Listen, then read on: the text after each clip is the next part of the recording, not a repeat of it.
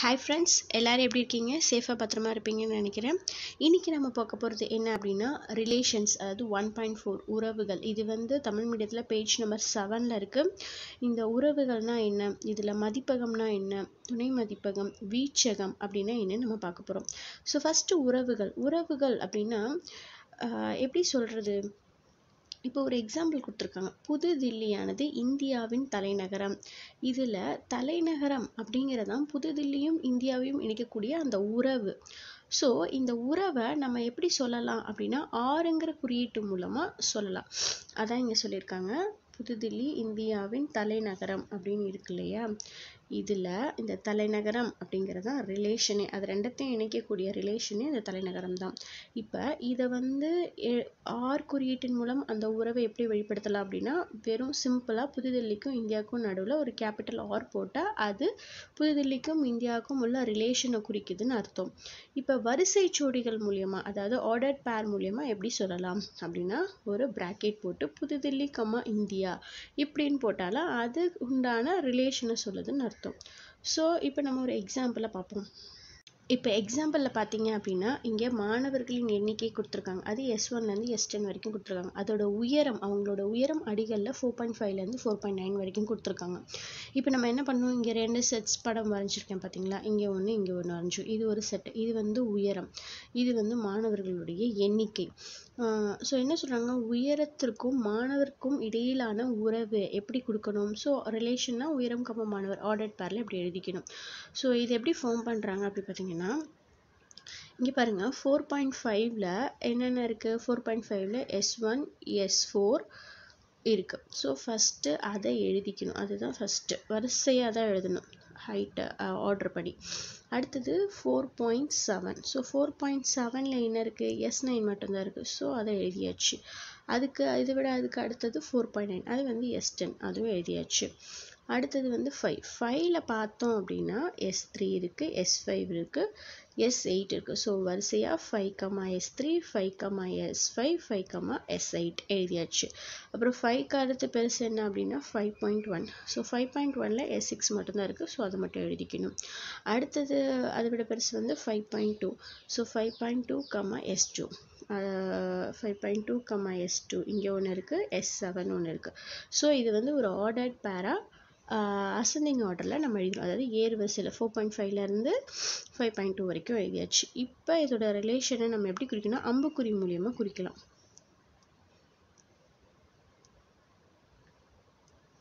இப்போ four point five four point five எது எதுக்கு போகுது அப்படின்னா எஸ் ஒன்னுக்கும் எஸ் ஃபோருக்கும் போகுது. ஸோ இதுக்கு உண்டான ரிலேஷன் இது ரெண்டும். அடுத்தது four point seven four point seven எதுக்கு போகுது? எஸ் நைனுக்கு போகுது. ஸோ அதுக்கு இந்த இந்த அம்புக்குறி என்னென்னா அதோட ரிலேஷனை டினோட் பண்ணுது. அடுத்து four point nine four point nine வந்து எஸ் டென்னை குறிக்குது. ஸோ இங்கே இருக்குது கீழே குறிக்குது.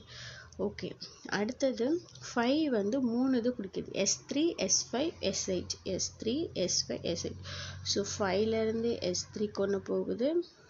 எஸ் ஃபைவ் ஒன்று போகுது. எஸ் எயிட்டுக்கு போகுது. ஸோ இது மூணு தான் ஃபைவுக்கும் இந்த எஸ்ஸுக்கும் உள்ள ரிலேஷன் அடுத்தது five point one five point one எங்கே போகுது அப்படின்னா ஃபைவ் பாயிண்ட் சிக்ஸ் எஸ் சிக்ஸ்க்கு போகுது. ஃபைவ் பாயிண்ட் ஒன் வந்து எஸ் சிக்ஸ்க்கு போகுது. அடுத்து ஃபைவ் பாயிண்ட் டூ எங்கே போகுது அப்படின்னா எஸ் டூவுக்கு போயிடுது. அதோட ரிலேஷன் அங்கே இருக்குது ஃபைவ் பாயிண்ட் டூ வந்து ஒன்று வந்து எஸ் டூலேயும் ஒன்று வந்து எஸ் செவன்லேயும் இருக்குது ஸோ இதுதான் அதோட ரிலேஷன் இது உங்களுக்கு புரிஞ்சிருக்கும்னு நினைக்கிறேன். இது மூலிமா நம்ம என்ன தெரிஞ்சுக்கிறோம் அப்படின்னா ஏ மற்றும் பி என்பன இரண்டு வெற்றில்லா கணங்கள் அதாவது அதில் வேல்யூஸ் இருக்குன்னு அர்த்தம். அப்படி இருக்கும்போது ஏயிலிருந்து பிஇக்குள்ள உறவு ஆர் இப்போ நான் காமிச்சல இங்கேருந்து இங்கே போகிறது ஸோ இந்த உறவு ஆர் ஆனது எப்படின்னா ஒரு சில விதிமுறைகளை நிறைவு செய்கிறது. இப்போ எல்லாமே எல்லாத்துக்கும் போல. அப்போ ஃபைவுக்கு வந்து S three S five S eight இருக்குது வெறும் எஸ் ஃபைவ் மட்டும் இல்லை. ஸோ இது ஒரு கண்டிஷன்ஸ் மூலியமாக அதோட உறவுகளை சொல்லுது. இப்படி இருக்கிற ஃபஸ்ட்டு எடுத்தோன்னா இது ஒரு ஏ கிராஸ் பி தான். நம்மளுக்கு தெரியும் கார்ட்டீசியன் ப்ராடக்ட் மாதிரி தான் இருக்குது கார்ட்டீசியன் ப்ராடக்ட்னா எல்லாமே எழுதுவோம். ஒவ்வொரு டொமைன் இப்போ ஏ செட் இருக்குன்னா இதில் ஃபஸ்ட்டு வேல்யூ எலமெண்ட் வந்து அங்கே பியில் இருக்கிற எலமெண்ட்டையும் ஜாயின் பண்ணும். ஒவ்வொரு வேல்யூஸும் பட் இது அப்படி கொடுக்கல. ஒவ்வொரு வேல்யூக்கும் ஏதோ ஒரு வகையில் ரிலேஷன் கொடுத்துருக்குறாங்க. ஸோ ஆனால் இதை பார்த்தோன்னா ஏ கிராஸ் பியோட உட்கணமாக சப்செட் மாதிரி தான். இது வந்து இப்போ நம்ம கண்டுபிடிச்சிருக்கோம் இல்லையா அந்த மேலே வேல்யூஸு இது வந்து இதோட சப்செட் அதாவது எப்படி சொல்கிறேன்னா ஏ கிராஸ் பியோட சப்செட் மாதிரி தான் இருக்கும். ஸோ இப்படி இருக்கும்போது எக்ஸ் பிலாங்ஸ் டு ஏவிற்கும் ஒய் பிலாங்ஸ் டு பிவுக்குமான உறவு ஆரின் வழியாக இருந்தால் எக்ஸ் ரிலேஷன் ஒய் அதாவது ஆர் ஒய் அப்படின்னு எழுதலாம். அதாவது எக்ஸ் வந்து ஏவோட எலமெண்ட்ஸ்க்கு ஈக்குவல் ஒய்ங்கிறது பியோட எலமெண்ட்ஸ்க்கு ஈக்குவல் அந்த செட்ஸில் உள்ள எலமெண்ட்ஸ்க்கு ஈக்குவல் அப்படின்னா எக்ஸ் ரிலேஷன் ஒய் அதாவது எக்ஸ் ஒய் அப்படின்னு எழுதலாம். உறவு வந்து எக்ஸ்ஆர் ஒய் எழுதலாம். அப்படின்னு சொல்கிறாங்க இப்போ ஆரின் உறவு ஆரின் மதிப்பகம் அப்படின்னா என்ன? மதிப்பகம் அப்படிங்கிறது எக்ஸ் பிலாங்ஸ் டு ஏ அதாவது சப்செட் ஆஃப் ஏல இருக்கிற வேல்யூஸ் எல்லாம் மதிப்பகம். இங்கே வந்து எக்ஸ் ரிலேஷன் ஒய் அப்படின்னு இருக்கும்போது இந்த ஒயில் இருக்கிற ஏதேனும் ஒரு வேல்யூ வந்து பியில் இருக்கலாம். துணை மதிப்பகம் அப்படிங்கிறது இது ஈக்குவல் டு பி பியில் இருக்கிற வேல்யூஸ் தான் துணை மதிப்பகம். எக்ஸில் ஆரம்பித்து அந்த அதே செட் ஆஃப் ஏல இருக்கிற வேல்யூஸ்லேருந்து ஆரம்பித்து செட் ஆஃப் பியில் இருக்கிற வேல்யூஸில் தான் முடியுது. ஸோ துணை மதிப்பம்ங்கிறது பி உறவு ஆரின் வீச்சகம். வீச்சகம் அப்படிங்கிறது ஒய் தான். கம்பல்சரியாக ஒய் தான். Y belongs to B B அப்படிங்கிறது பி செட்டை குறிக்கிறது. இதில் எக்ஸ் ஆர் ஒய் அப்படிங்கிற ரிலேஷனில் ஏதேனும் ஒரு எக்ஸ் பிலாங்ஸ் டு ஏ இதில் எந்த வீச்சகங்கிறது இப்போ பியிலேருந்து ஏக்கு போகிற மாதிரி. இதில் வந்து எந்த ஒரு எலமெண்ட்டை வந்து ஏல இருந்தால் ஓகே இது வந்து வீச்சகம். ஸோ ஆரின் மதிப்பானது. அதாவது டொமைன் அப்படிங்கிறது சப்செட் ஆஃப் ஏ ஏல தான் துணை மதிப்பகம் அப்படிங்கிறது அது ஈக்குவல் டு பி பி பிக்கு தான் ஈக்குவலாக இருக்கும். எப்போதுமே டொமைன் வந்து சப்செட் ஆஃப் ஏ அடுத்தது கோ டொமைன் வந்து பியில் இருக்கும். வீச்சகம் அதாவது ரேஞ்ச் அப்படின்னு சொல்லுவாங்க. அது சப்செட் ஆஃப் பியில் இருக்குது ஸோ பியில் இருக்கிற எதுனா ஒரு வேல்யூவாக தான் இருக்கும். டொமைன் அப்படிங்கிறது ஏல இருக்கிற ஏதோ ஒரு வேல்யூ துணை மதிப்புங்கிறது பியில் இருக்கிற பியில் இருக்கிற வேல்யூஸ் தான் கன்ஃபார்மாக வீச்சகங்கிறது சப்செட் ஆஃப் பி அண்ட் இப்பில் அதில் ஏதாவது ஒரு வேல்யூ இங்கேருந்து எங்கே போகும் அப்படின்னா இது எதுக்கு ரிலேட் பண்ணுறாங்க அப்படின்னா ஏல இருக்கிற ஏதாவது ஒரு வேல்யூக்கு ரிலேட் பண்ணுவாங்க. அடுத்தது எக்ஸாம்பிள் பார்ப்போம்.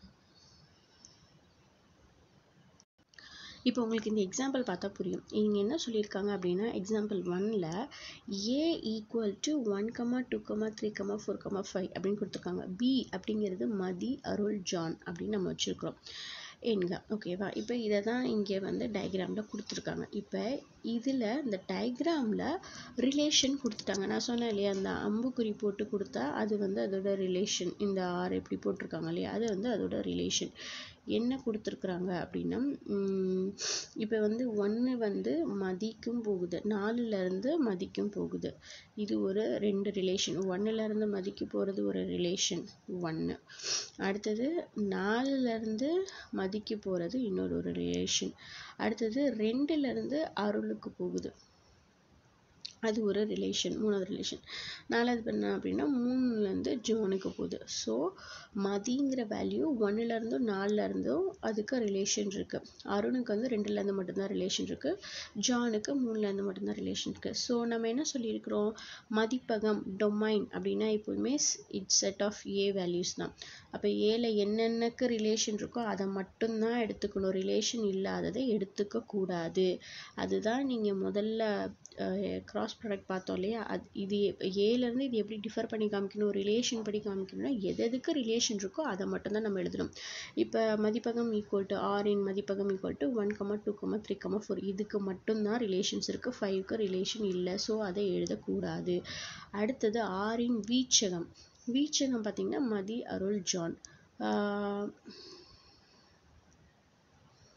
இப்போ இந்த மூணுத்துக்கும் தான் போய் எண்ட் ஆகுது. ஸோ மதி அருள் ஜான் தான் வீச்சகம் ரேஞ்ச் ஸோ டொமைன் வந்து இந்த ரிலேஷன் படி டொமைன்ங்கிறது வந்து one two three four and range அப்படிங்கிறது மதி அருள் ஜான் அவ்வளோதான்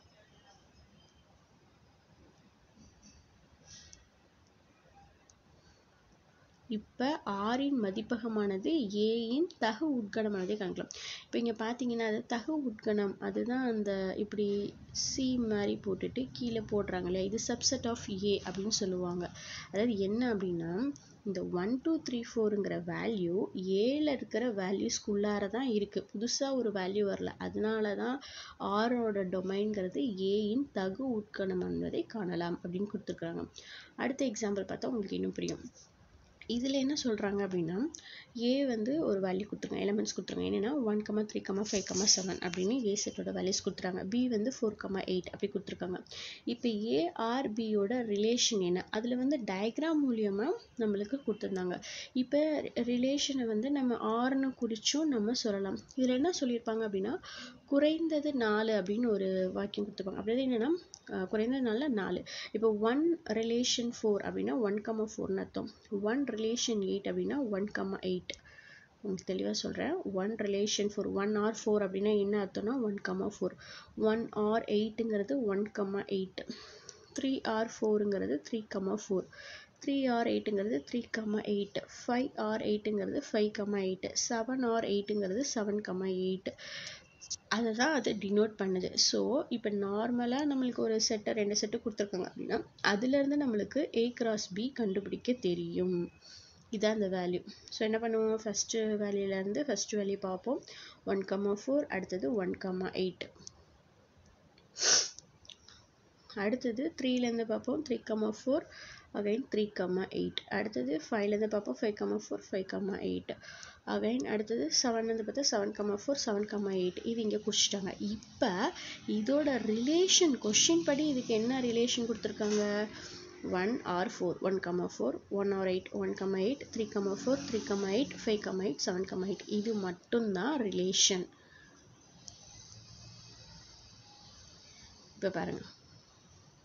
ஸோ இந்த ரிலேஷனுக்கு நம்ம இப்படி தான் படம் கொடுக்கணும். ஸோ என்னென்ன வேல்யூஸ் வந்திருக்கு? டொமைனில் பார்த்தோன்னா ஒன்று மூணு அஞ்சு ஏழு. ஸோ இது மட்டும்தான் இங்கே எழுதணும். ஒன்று த்ரீ ஃபைவ் செவன் அடுத்தது வீச்சகம். ரேஞ்சில்னா நாலு எட்டு.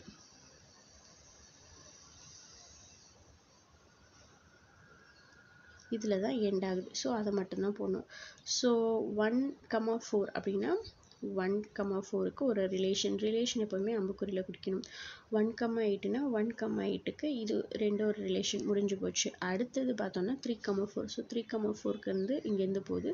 அகைன் த்ரீ கம்மா எயிட்டுக்கு ஒரு கோடு போகுது முடிஞ்சு போச்சு. அடுத்தது five comma eight five comma எயிட்டுனா இங்கே ஒரு ரிலேஷன் இது ஒரு முடிஞ்சிச்சு. அடுத்து seven comma eight seven comma எயிட்டுக்கு இங்கே போகுது அவ்வளோதான் இதுக்கு மட்டும்தான் நம்ம இந்த செட்ஸ் டயக்ராம் வரையணும். என்ன ரிலேஷன் கொடுத்துருக்காங்களோ அதுக்கு மட்டும்தான். இப்போ உங்களுக்கு புரிஞ்சிருக்கும்னு நினைக்கிறேன். நார்மலாக ஏ கிராஸ் பினா எல்லாமே எழுதுவோம். அதில் ரிலேஷன் எதுக்கு கொடுத்துருக்காங்களோ அதுக்கு மட்டும்தான் நம்ம வேல்யூஸ் எழுதியிருக்கோம். ஸோ அதுக்கான படம் தான் இது. இந்த படத்தை பார்த்தாலும் உங்களுக்கு புரிஞ்சிருக்கும். இப்போ இந்த இதுலேருந்தே தெரியுது நம்மளுக்கு என்ன தெரியுது அப்படின்னா இந்த ஒன் த்ரீ ஃபைவ் செவன் இதெல்லாம் சப்செட் ஆஃப் ஏ வேல்யூஸ் அப்புறம் இந்த ஃபோர் எயிட் இதெல்லாமே பிலாங்ஸ் டு பி தான் ஸோ இதுவும் சப்செட் ஆஃப் பி வேல்யூஸ் இது வீச்சகம்னு சொல்லுவாங்க. இது மதிப்பகம். இது டொமைன் இது வந்து ரேஞ்ச் அப்படின்னு சொல்லுவாங்க. அதுக்கப்புறம் இன்மை உறவு அப்படின்னு ஒன்று சொல்லுவாங்க. அது என்ன? ரிலேஷனில் இன்னொன்று இன்மை உறவு. நல் ரிலேஷன் அப்படின்னா என்ன அப்படின்னா இப்போ ஏக்கு ஒரு வேல்யூஸ் கொடுத்துருக்காங்க. A minus three minus two minus one B வந்து one comma two comma three comma four எனில் ஏயிலிருந்து பிக்கான உறவை ஏ டு பி அது வந்து எயிட் இதில் வந்து ஏங்கிறதெல்லாம் belongs to capital A பிங்கிறதெல்லாம் belongs to capital B that four the four அப்போ ஏ டு பி அப்படிங்கிறது வந்து எட்டு அப்படின்னு சொல்கிறாங்க இப்போ எந்த ஒரு ஏக்கமா பி ஜோடியும் இல்லை. இப்போ இங்கே எங்கேயாவது எயிட் அப்படின்னு இருக்கா? இல்லை. ஸோ ஏஎம்என்எஸ் பிங்கிறது எயிட் எந்த ஒரு ஏக்கமா பி ஜோடியுமே இதில் இல்லை. ஸோ ஆரில் இந்த மாதிரி ஒரு ரிலேஷனில் எந்த ஒரு உறுப்புமே இல்லை. அதை தான் ஆர் ஈக்குவல் டு நல் அப்படின்னு சொல்கிறாங்க ஸோ ஒரு உறவில் உறுப்புகள் இல்லை என்றால் அது இன்மை உறவு. எப்படி ஒரு செட்ஸில் வேல்யூஸ் இல்லைன்னா நல் செட் அப்படின்னு சொல்கிறோமோ அதே மாதிரி ஒரு உறவுலேயும் வேல்யூ இல்லை அப்படின்னா அது நல் ரிலேஷன் அப்படின்னு சொல்லணும். ஸோ இப்போ இதில் நம்பர் ஆஃப் ஏங்கிறது பி அப்படின்னு கொடுத்துருக்காங்க. ஒரு value sub some values number of B equal to Q அப்படின்னா ஏ அண்ட் பிக்கு இடையே கிடைக்கும் மொத்த உறவுகளின் எண்ணிக்கையானது two power of B Q ஆகும். அதோட மல்டிப்ளிகேஷன் டூ பவரில் போட்டால் இதோட வேல்யூஸ் வந்து கிடைக்கும். நம்பர் ஆஃப் பியோட value number of கியூக்கு number of A equal to B and number of B equal to Q அப்படின்னா இதோட மொத்த ரிலேஷன் எத்தனை வருங்கிறத நம்ம கண்டுபிடிக்கணும் அப்படின்னா two power of B into Q அப்படின்னு போட்டால் நம்மளுக்கு வேல்யூஸ் கிடைக்கும். அவ்வளோதான்